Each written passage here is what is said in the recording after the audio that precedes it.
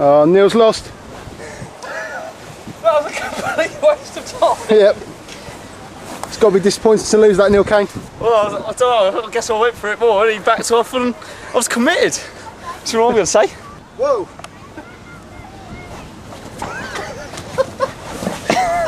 And with him is down.